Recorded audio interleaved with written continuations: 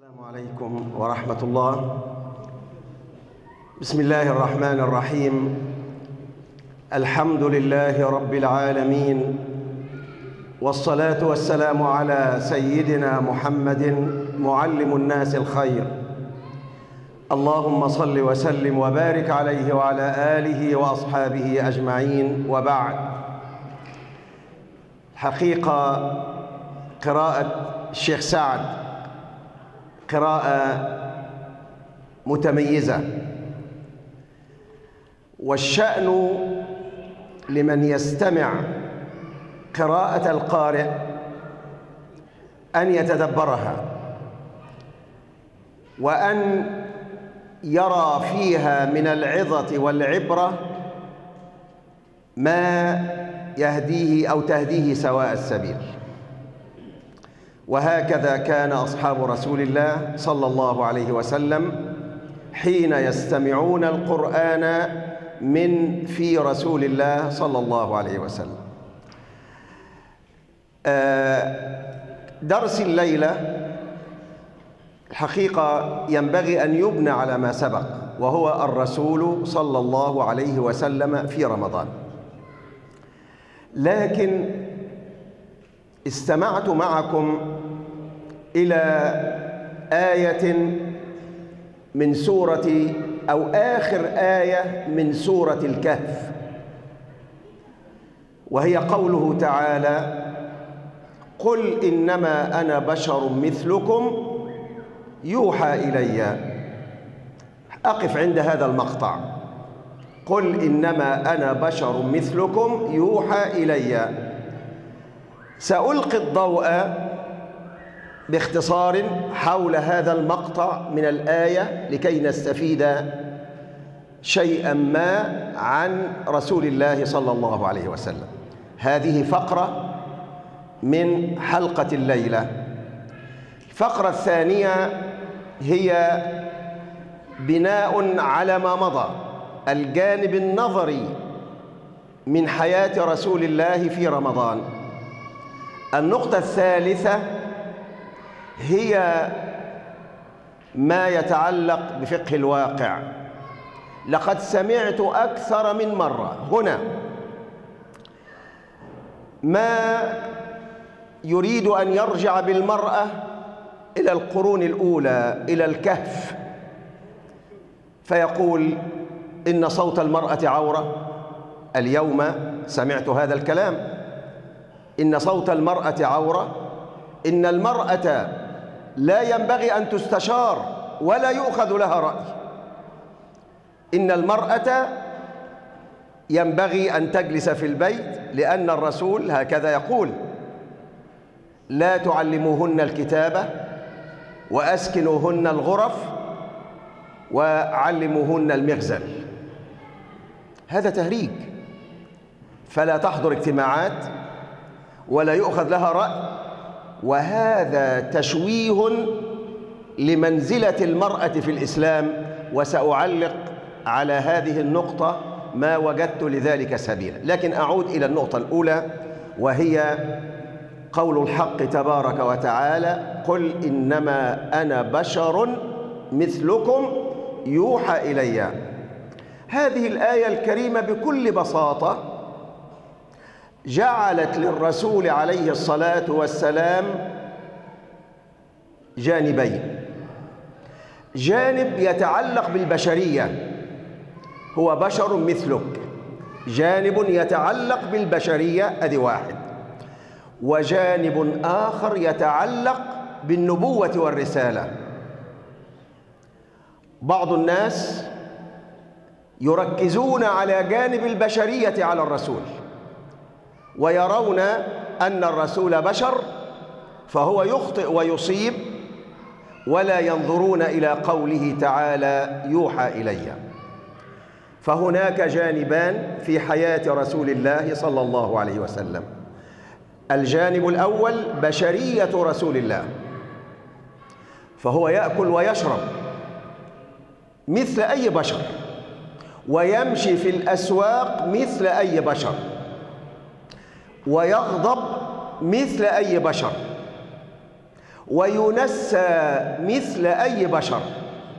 ولنأخذ نماذج من ذلك. في الح... ما أقوله أحاديث صحيحة مئة في المئة. وأنا بريء من أي حديث ضعيف أستشهد به. اللهم إلا إذا بينته. نأخذ حديث. يقول النبي عليه الصلاة والسلام إنما أنا بشر. حديث كده يقول أو أول النص كده أول النص إنما أنا بشر. وإنكم تختصمون إلي واسمعوا جيدا إنما أنا بشر. وإنكم تختصمون إلي بتختلفوا مع بعض وبتقولي إنما أنا بشر وإنكم تختصمون إلي. فمن قضيت له بحق أخيه فإنما هو قطعة من النار فليأخذها أو فليتركها. هذا حديث. أولا بيدل على أن الرسول بشر. من الممكن أن يأتيه الخصمان وكل منهما يدعي حقا في شيء معين. هذا خصم يقول يا رسول هذا هذا تبعي أنا معي هذا لي والثاني يقول هذا لي فيتنازعان. فيحكم رسول الله صلى الله عليه وسلم لأحدهما باعتبار البشرية. فيقول إيه؟ إنما أنا بشر مثل. وإنكم تختصمون إلي. فمن قضيت له بحق أخيه فإنما أقتطع أو أقطع له قطعة من النار. فمن قضيت له بحق أخيه فإنما أقتطع له قطع فليأخذها أو ليتركها. فيه اثنين جم للرسول عليه الصلاة والسلام يختصمان في أرض كانت لهما. ده يقول ده أرضي وده يقول ده أرضي. وكانت الأدلة قد اندرست. ما فيش أوراق تثبت ولا فيه شهود يثبتهم ولا في حد يقول ده الأرض ده بتاع فلان أو بتاع فلان. فاختلفوا. فقضى النبي عليه الصلاة والسلام لأحدهما بتلك الأرض. فأدرك الطرف الآخر أو الطرف الذي حكم له بتلك الأرض. بعد ما الرسول قال فإنما أنا أقتطع له قطعة من النار فليأخذها أو ليدعها بكى وقال يا رسول الله هذه الأرض ليست أرضي اعطها لصاحبي. هذه جانب بشرية من بشريات الرسول عليه الصلاة والسلام. نمرة اثنين. حديث آخر. يقول الرسول عليه الصلاة والسلام وانتبهوا جيدا أوله كده أو في روايات كثيرة. اللهم إن محمدا بشر يغضب كما يغضب البشر. اللهم هذا حديث في مسلم. اللهم إن محمدا بشر يغضب كما يغضب البشر. الرسول يغضب. فأيما عبد من عبادك. وفي رواية فأيما عبد دعوت عليه بدعوة. هو ليس لها بأهل.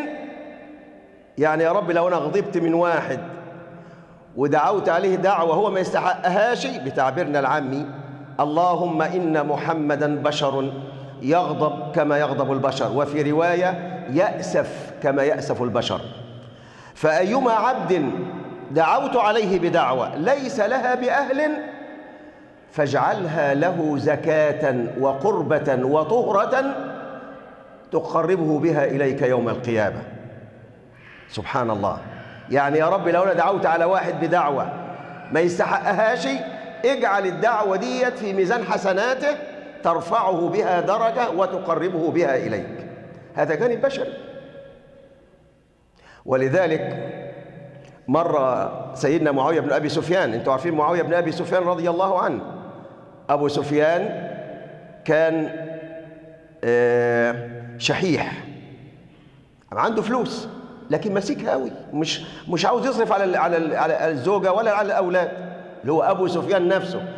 فجت هند زوجته إلى الرسول عليه الصلاة والسلام. بتقول له يا رسول الله إن أيها النساء تعلمنا يا رسول الله هند امرأة أبي سفيان يا رسول الله إن أبا سفيان رجل شحيح. شحيح يعني معناها غني لكن ما أعرفش تفسروها بإيه. راجل شحيح لكن مش محبك زيادة عن اللازم. لا يعطيني ما يكفيني وولدي. هات يا أبا سفيان نجيب كسوة للعيال ما معيش فلوس روحي اتصرفي. يا فراحت شكت للرسول عليه الصلاة والسلام. فقال لها رسول الله صلى الله هي بقى جاية تستأذنه إن هي تاخد من وراه فلوس ولا لأ؟ زي ما بن- ما بنمسئل النهارده السنة فيها كل حاجة. إن أبا سفيان رجل صحيح شحيح لا يعطيني ما فقال النبي عليه الصلاة والسلام خذي منه ما يكفيك وولدك بالمعروف. يعني خذي بالقطارة. خذ ما تاخديش بقى علشان تجيب المحمر والمشمر وتبقى لا لا خذي حنين بالحنين كده. هذا أبو سفيان. معاوية بقى كان زيه ما هو ابن الوز عوام. ما هو يعني هيجيب منين معاوية؟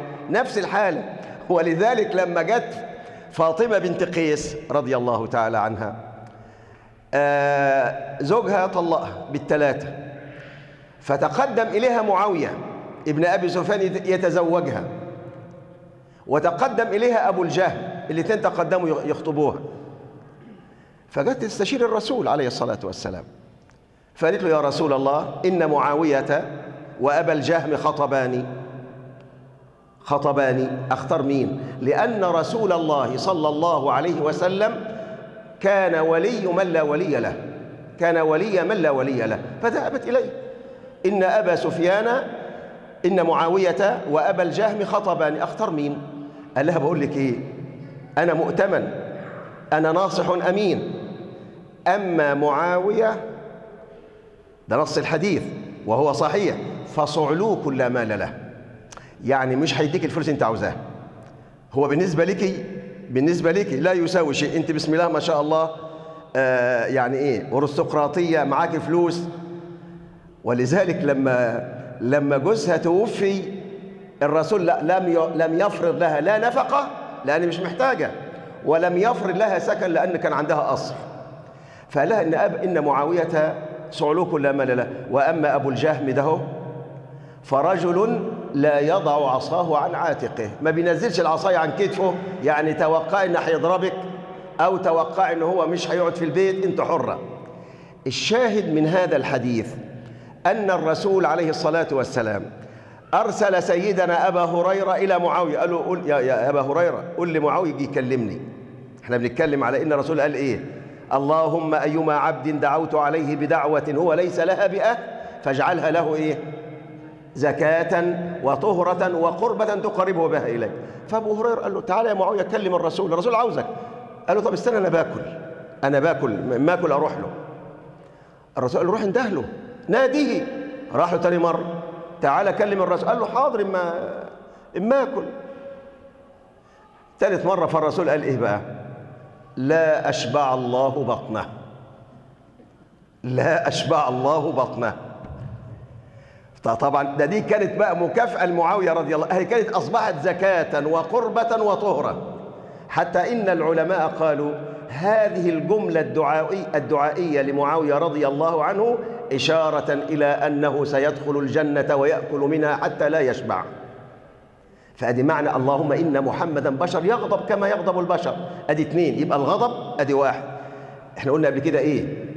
إن محمدا إيه؟ إنكم تختصمون إليه قد يحكم بالظاهر مع إن الحقيقة غير كده. ثلاثة أن الرسول عليه الصلاة والسلام قال إنما أنا بشر وإنني أنسى كما تنسون. أنا بنسى زيكم. إنما أنا بشر. وأن وإنني أنسى. اوعوا تقولوا أنسى. لا. اوعى واحد منكم يجي يقول أنا نسيت الآية الفلانية. غلط. غلط. لا يقل أحدكم قال صلى الله لا يقل أحدكم أحدكم إني نسيت آية كذا وكذا. شوفوا الأدب في الكلمة. شوفوا الأدب في الكلمة. ما أقول إيه؟ قال قل أنسيت. أنسيت آية كذا وكذا. أنسيت. إشارة على أن أنت ما تعمدتش النسيان. بل في قوة أكبر منك هي اللي إيه؟ هي اللي نستك لا يقولن أحدكم إني نسيت آية كذا وكذا ولكن يقول أنسيت. فالرسول بيقول إيه؟ اللهم إنني بشر. أن... آه. إنما أنا بشر أنسى. أنسى. مش أنسى. كما تنسون. فإذا نسيت فذكروني صلى الله عليه وسلم. إذا هناك جانب من البشرية لرسول الله صلى الله عليه وسلم يجري عليه ما يجري على البشر. المرض. الرسول لما كل لما كل الشاه المسمومة مرض. حتى إنه مات بها صلى الله عليه وسلم. ينسى. ولذلك كان بيصلي مرة في بعض الروايات صلاة العصر. فسلم من ركعتين. سلم من ركعتين. فسي... طبعا وراه الصحابة. فسيدنا أبو اليدين بيقول له يا رسول الله أنسيت ولا الصلاة قصرت أنسيت أم قصرت الصلاة؟ لأنه صلى ركعتين وسلم المفروض يصلي أربعة. فالرسول نسي وسلم من التشهد. فقال له هو بقى طبعا مش ليس ذو اليدين لوحده ورا الرسول ده في جماعة. فبص لهم كده عشان اللي ينسى منكم حاجة يتعلم من فعل الرسول عليه الصلاة والسلام. فجه كده قال له قال لهم كده أحقا أحقا ما قال ذو اليدين. الكلام اللي قاله صحيح. قالوا نعم يا رسول الله. فقال أما إني لم أنسى. ولكن أما إن آه أما إن لا قال له لا هذا ولا ذاك. لا لا نسيت ولا قصرت الصلاة. قال له يا رسول الله أنت صليت ركعتين سلمت من ركعتين. قال يلا هاتوا ركعتين. قوموا إيه؟ شوف كون الرسول يتكلم ويسأل وبعدين يبني على الركعتين اللي, اللي هو فاتته ويصليهم ويسجد سجدتي السهو إذا ولذلك لما جينا قسمنا أفعال الرسول عليه الصلاة والسلام نحن بنتكلم عنها قسمنا أفعال الرسول عليه الصلاة والسلام. اللي أنا اتكلمت عنها امبارح قلت في أفعال يفعلها الرسول على سبيل التشريع. يصلي أربع ركعات بصلي أربع ركعات. يصلي ثلاث ركعات يصلي ثلاث ركعات. يبقى في أفعال صادرة من رسول الله على سبيل الإيه؟ التشريع. ده يجب عليه يعملها في أفعال صادرة من الرسول على سبيل العادة. العادة. العادة ديت يعني أمر بيشترك فيه الناس كلها. جاع جاع ياكل عطش يشرب. آه مرض. يعني يظهر عليه علامات المرض. أمر طبيعي. أراد أن يقضي حاجته يقضي وهكذا. إذا فيه جانب بنسميه الأفعال الجبلية. الأفعال الطبيعية اللي يشترك فيها جميع الخلق. أنا بقى لما أجي عاوز أخذ ثواب على العمل ده اللي هي الأفعال العادية يبقى أقصد التأسي بالرسول صلى الله عليه وسلم. يعني مثلا الرسول كان بيحب الدباء كمثال. الرسول كان بيحب الدباء. الدباء اللي هو القرع اللي أنا اتكلمت عنه كان بيحبه. طب أنا لو لو لو حبيت الدباء عشان الرسول بيحبه أخذ ثواب. فالنية عندنا النية عندنا بتحول العادة إلى عبادة. النية بتحول الإيه؟ العادة إلى عبادة. الأكل الشرب الزواج. واحد متزوج علشان يعف نفسه عن الحرام. مثلا وينجب أو ينتج أو يخلف ولد صالح. النية ديت يثاب عليها. فرق ما بين واحد بيتجوز عشان كده وفرق ما بين واحد بيتجوز عشان يتمتع بالنساء يبقى النية بتحول العادة إلى إيه؟ إلى عبادة واحد بياكل عشان يبقى فتوة ولو أي واحد قابله يضربه ويغلبه وفي فرق ما بين واحد ياكل لكي يتقوى على الطاعة وعلى العبادة وعلى السعي على المعاش شوف النية بتحول إيه؟ يبقى النية بتحول العادة إلى إيه؟ إلى عبادة ولذلك أحمد بن حنبل يقول إيه؟ أحب لكل من عمل عملا أن تصحبه النية. يبقى أنا باكل لأتقوى على العبادة أنا بسعى على المعاش عشان أكفي أولادي ما يبقوش فقراء. إلى آخره والنية شوف إذا كانت النية تحول العادة إلى عبادة من الممكن النية تحول شوف الطاعة إلى معصية. النية بتحول الطاعة إلى إيه؟ لو أنت حضرتك صليت رياء وسمعة. الصلاة طاعة. حولتها لإيه؟ إلى معصية. يبقى النية تحول العادة إلى العادة إلى إيه؟ وتحول الطاعة إلى ما واحد بينفق بالفلوس آه عشان فلان فلان جواد كريم. يقول اتفضل يوم القيامة بقى روح اللي أنت اللي أنت عملت عشان خاطره خد منه الأجر والثواب. فالنية تحول العبادة الطاعة إلى معصية. ولا تحول المعصية إلى طاعة أبدا. ولا تحول المعصية إلى طاعة أبدا. زي إيه؟ واحدة بترقص في الليلة بتاخد لها مثلا عشر تلاف دولار. تيجي تقول لك إيه؟ والله أنا هتصدق ب 3000 دولار اكفل بهم يتامى وأعمل وأفطر بهم الصائمين. مثلا نقول ما ينفعش. لا يتقرب إلى الله بإيه؟ بمعصية. اذا النية يتحول العادة إلى عبادة وتحول الطاعة إلى معصية ولا تحول المعصية إلى إيه؟ ولا تحول المعصية. اذا هناك جانب من البشرية في حياة رسول الله صلى الله عليه وسلم مثل النسيان. بس ينسى في الأمور هي مش في الأمور التبليغية لا. وكذلك المرض. مره في صحيح البخاري ما إحنا بناخد درس. أنا قلت دلوقتي الرسول قال إنما جعل الإمام ليؤتم به. الرسول ركب ركب فرسا ركب فرسا. فجحش وقع من الفرس وقع من فوق الفرس. وقع من فوق الفرس. فجحش شقه الأيمن. جنبه اليمين انجرح. أو بس أو بيسموها يعني جات له ردود في جنبه اليمين. حملوه شالوه إلى بيت السيدة عائشة رضي الله ليمرض عندها. الصحابة عرفوا. الصحابه كتار جدا. وبيت عائشة يا دوبك متر في متر. ما تنظروش ما تنظروش للشقق اللي أنتوا قاعدين فيها. خم... عشرة في عشرة وأوضة نوم كام؟ و... الأوض كانت صغيرة. فدخل الرسول في بيت عائشة. وهو مردود الجانب الشق الأيمن كما في البخاري. فعاوز يصلي العصر. لا يستطيع أحد أن يتقدم بين يدي رسول الله يصلي إمام بالناس. فصلى الرسول جالسا. مش قادر يقف. وخلي بالكم ده في أوضة.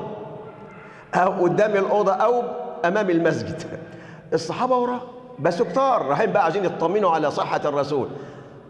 فصلى بعضهم جالسا لأن الرسول صلى إيه؟ جالس. والبعض منهم يا إما مش شايف الجلوس أو تصور فصلى قائما. أصبح المسلمين بعضهم جالس وبعض فالرسول قال إيه بقى؟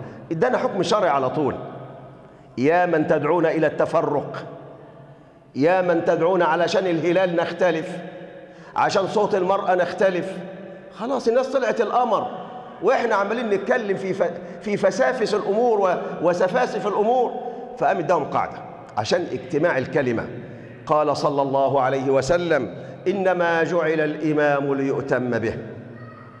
فإذا كبر فكبروا وإذا ركع فاركعوا. وإذا وإذا قام فقوموا وإذا سجد وإذا صلى جا صلى قائما فصلوا قياما وإذا صلى جالسا فصلوا جلوسا أجمعوا. عشان تتوحد الإيه؟ عشان تتوحد الكلمة يتوحد المسلمين. ما ما التفتت اللي إحنا عايشينه يندى له الجبين. هل نجري ورا صوت المرأة وورا الغنى حلال ولا حرام وعمالين ننخر في عظام الأمة الإسلامية ونبحث عن الأمور التي تفرقها ولا تجمعها؟ هذا أمر مهزلة. انتهى عهد النوم يا خديجة. فوقوا إلى أنفسكم. أنت الآن عالة في كل شيء. أنت الآن عالة في كل شيء. الكاميرا التي تصورك الآن لم تصنعها أنت. الساعة التي في معصمك لم تصنعها أنت. الميكروفون الذي أتكلم فيه لم أصنعه أنا أين المسلمون؟ أين المسلمون؟ هذا التخلف مشين وسيحاسبكم ربكم عليه يوم القيامة نحن أمة مسلمة منتجة وكما قلت في أول لقاء ليس هناك دين يحث أتباعه على العلم أكثر من دين الإسلام وأنتوا عارفين أو حافظين كويس قوي بس ما يطبقش أول آية نزلت في القرآن هي إيه؟ هذا اقرأ وسيل الوسيلة الأولى من وسائل التعليم التقدم العلمي والتقدم التكنولوجي لزاما على كل مسلم أن يلحق بركب الحضارة كان لنا شيخ رحمة الله عليه كان يقول ونحن طلاب والله لو أن الغرب والشرق أخذوا منا كل شيء لرجعنا عراة كما خلقنا ربنا. فالنعل الذي نلبسه من إيطاليا والساعة التي نلبسها من اليابان والجلباب الذي نلبسه من الصين بل والمسباحة التي نسبح بها من الصين. ماذا بقي لنا؟ لماذا هذا يعني ونأتي نختلف بقى. الجلبية طويلة الجلبية قصيرة المسبحة بدعة صوت المرأة عورة المرأة ما تحضرش الاجتماع المرأة ما تستشارش وأنتم مسؤولون أمام الله يوم القيامة. الإسلام أكبر من ذلك بكثير. الإسلام يترنح الآن. أهله يقتلون. ونحن نتكلم عن فسافس الأمور أو سفاسف الأمور. قديما أو, أو كان شيوخنا قديما حين تقدم إليه أحد الناس يسأله ونحن في محاضرة عامة قال يا شيخ حكم اللحية إيه؟ حكم ال- ال- العدبة إيه؟ فغضب الشيخ رحمة الله عليه وقال اجلس أقسم بالله أنكم لن تكونوا يوما من الأيام دعاة لرفعة الإسلام. مثلكم كمثل الطبيب الذي جاءه المريض يعاني من ألم الأظفر وهو يعاني في نفس الوقت من الذبحة الصدرية فينشغل بألم الأظفر ويترك الذبحة الصدرية حتى تقضي على الرجل. هذا هو حالنا الآن. هذا هو حالنا الآن. متى نفيق؟ متى ندرك قيمة العلم في الإسلام؟ الرسول عليه الصلاة والسلام علمنا في حديث مهم جدا لما سيدنا عبد الله بن مسعود بيسأل يقول يا أفضل الأعمال إيه؟ في النهاية تعرف؟ قال له إيه؟ قال تعين صانعا تعين صانعا أو تصنع لأخرق. والله قبل أن تعرف أوروبا هذا الكلام قبل أن تعرف أمريكا أنها تعطيك من البنك أموالا لتبني به بيتا أم أموالا لتتزوج أو وهكذا. يوم الرسول يقول لي إيه؟ يا سيدي أعن صانعا أنت معاك فلوس وهو عنده حرفة إديله فلوس لكي يستعين بالفلوس دي على الحرفة بتاعته. طيب ما معكش فلوس وعندك حرفة علمه علمه تعين صانعا تعين صانعا أو تصنع إيه؟ زي ما النهاردة المثل يقول لك إيه؟ لا تعطني سمكة بل علمني كيف إيه؟ كيف أصطاد تلك السمكة هل نحن نفعل ذلك اليوم؟ نحن نبكي على أنفسنا بأنفسنا.